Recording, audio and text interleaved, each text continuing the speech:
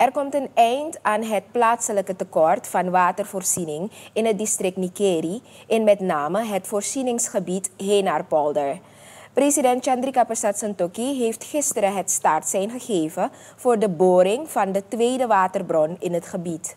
In samenwerking met het ministerie van Natuurlijke Hulpbronnen, de Surinaamse Waterleidingmaatschappij Suriname, SWM, en Staatsoliemaatschappij Suriname streeft de regering naar het leveren van duurzame watervoorziening in de gebieden.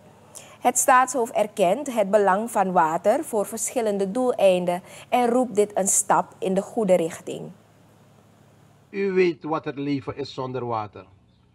U weet wat het leven is met weinig water. Vooral personen die kinderen hebben, baby's hebben, die weten het wat het betekent.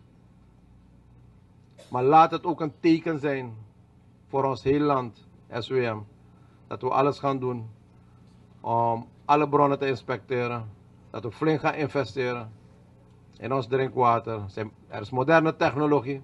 Maar nogmaals bedankt voor jullie ongeduld. En voor de irritatie die ontstaan is. En dat is wat het volk van Suriname verdient. Namelijk teruggeven voor de offers die zij gebracht hebben.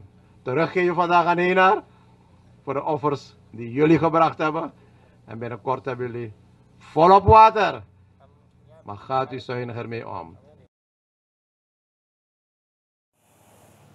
Minister David Abiyamovo van Natuurlijke Hulpbronnen spreekt zijn enorme dank uit aan de aannemer van staatsolie. In samenwerking met het bedrijf is getracht om binnen de gestelde tijd dit project te realiseren.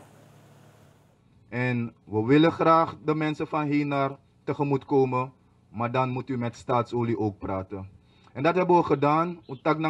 Staatsolie, ook staatsolie leveren we een wezenlijke bijdrage mensen wanneer we vandaag hier staan een totstandkoming voor het project DC. Uh, niet alleen dat Kooldiep Singh vrijgemaakt is om uh, te mobiliseren richting Nikeri. Ook uh, ten aanzien van de betaling heeft staatsolie een belangrijke rol gespeeld mensen.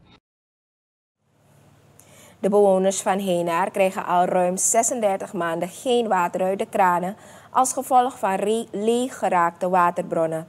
De watervoorziening in Hena Nikeri zal in september weer geoptimaliseerd worden.